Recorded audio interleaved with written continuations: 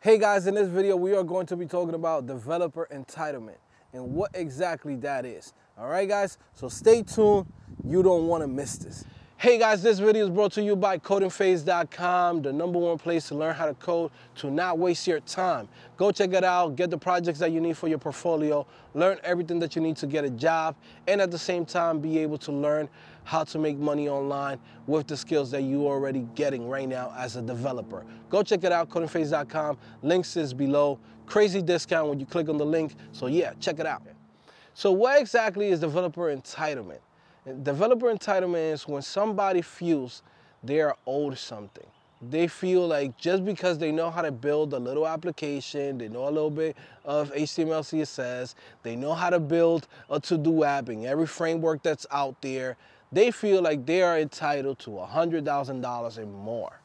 Why? Because they see stories online where you see guys coming out of nowhere and be like, hey, my first job was $100,000. Hey, I'm working for this great startup. Hey, I'm working for Google now. And I just showed up, uh, you know, with three months of uh, basically experience from a boot camp. And now I'm working at Google. I'm working at Facebook. I'm working at this, this, and that, right? So the guys that's watching this, through the screen, they feel like, you know what, man? I deserve that too. I should be getting that, okay? But what they don't understand is a whole bunch of different factors that go into it. Nobody owes you anything. You have to earn it, okay? Just because you say, I deserve to get $100,000 and more doesn't mean a company needs to give you that. If they feel like you're not ready or your skills are not worth that, you're not gonna get paid that, okay? That's just how it is. It's, it's plain simple. So let's say, for example, I see a lot of people that come in with this idea that they want a higher salary, but what they don't understand is that 99% of you guys that are watching this, you have to start from the bottom. Meaning, you might even have to go do an internship without getting paid. You might even have to go work at a digital agency or a local little digital agency that does SEO and, and, and web design and this, this, and that for local companies. Some of you guys think like, oh, this is oh, this is beneath me. I'm supposed to be getting Google money. You know what I mean? Like people think like, yo, I need to be getting Google money for everything that I do. Nah, 99% of you guys have to work yourself up. I'm a guy that worked myself up. My first job was $13 an hour. And it wasn't even web developer, right? My title was literally content editor, product editor. That's it. My job was to edit, you know, different posts on eBay, uh, create the HTML, CSS for the eBay listings. That's it. That was my whole thing, guys. That's it. That was my first job, $13 an hour. Two months later, I was out of there. I started applying to other places, but you know what was good about having that first job? Was that it gave me a stamp. The next company wasn't worried about, hey, is this guy gonna break our code? Is this guy even proven that he can actually uh, code or can other companies even hire him, right? Like we don't wanna be the first one trusting this guy, right?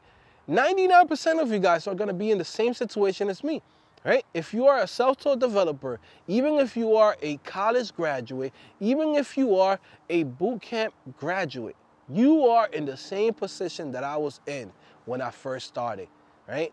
It is what it is, guys.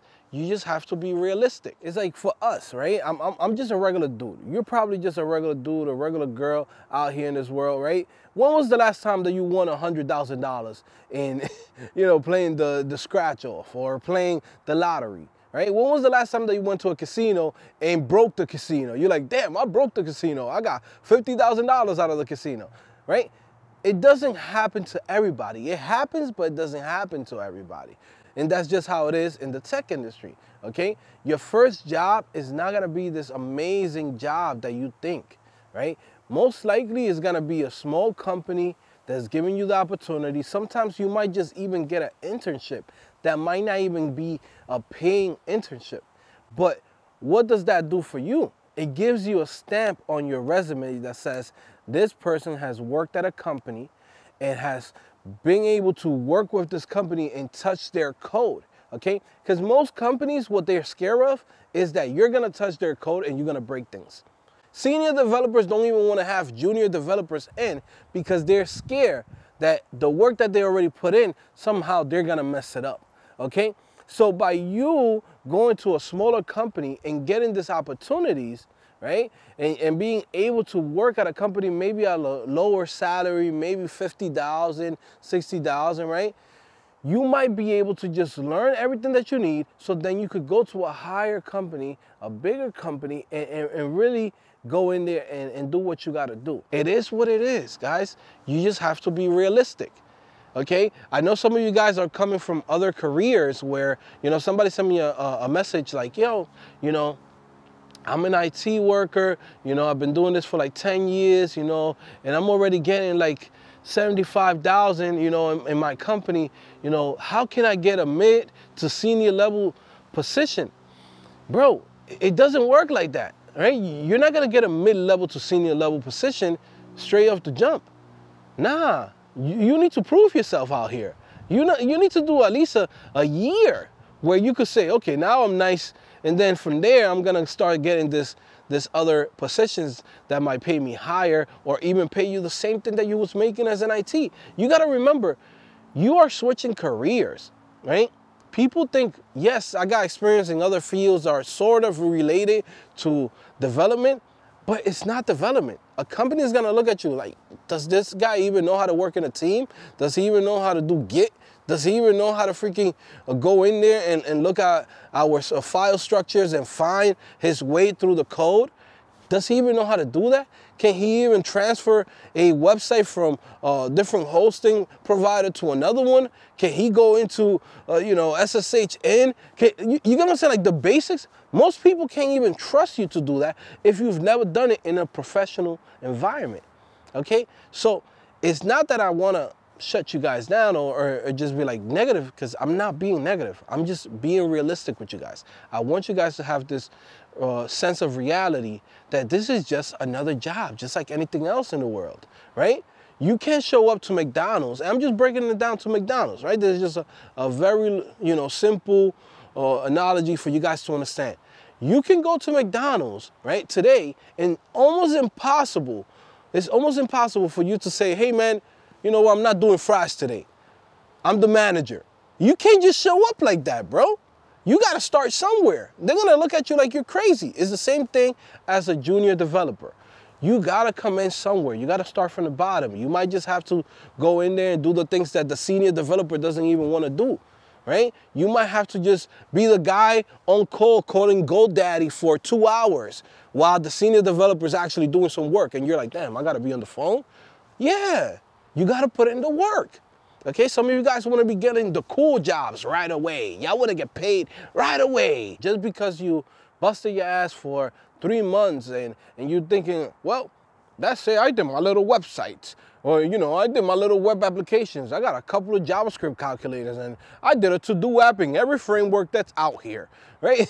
like, people think like they are entitled to this type of money. Bro, it doesn't work like that. Life is not perfect.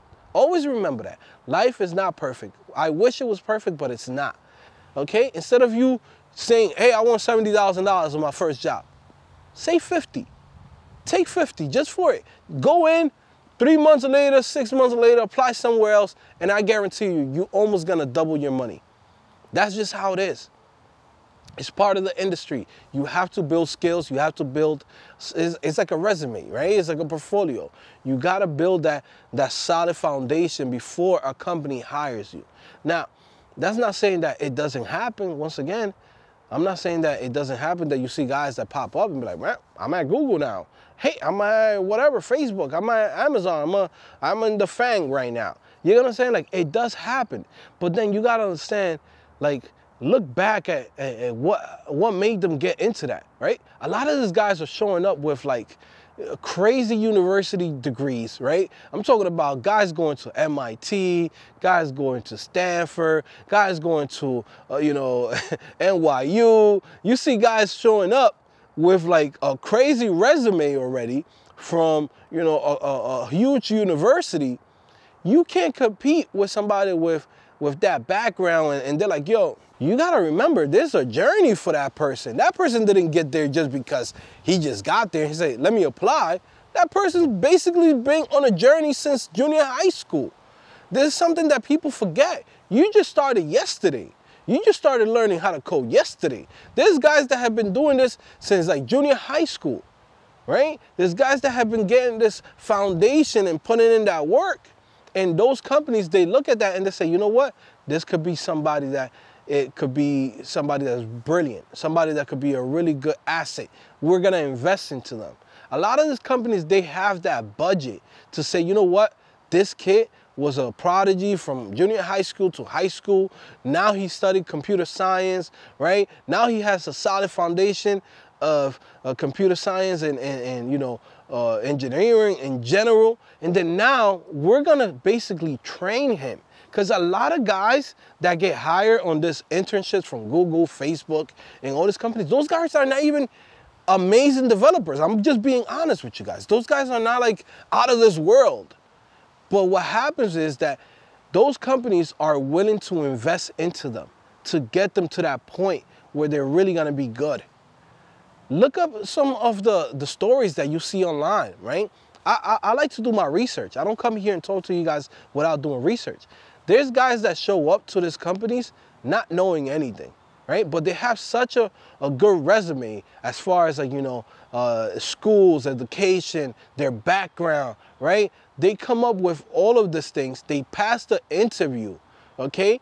They pass the interview, which is a, another process, okay? So it's something that they train themselves. It's almost like a, a five to 10 year journey Anybody that comes here and tells you, hey, I just showed up at Google and they hired me out of nowhere, that's not really the full story. The full story is there's a background about you, right? There's something that you did from years ago. It could be you were studying math, you could study science. You've been doing that for years. They're seeing an individual and they're looking at him and they want to invest into him.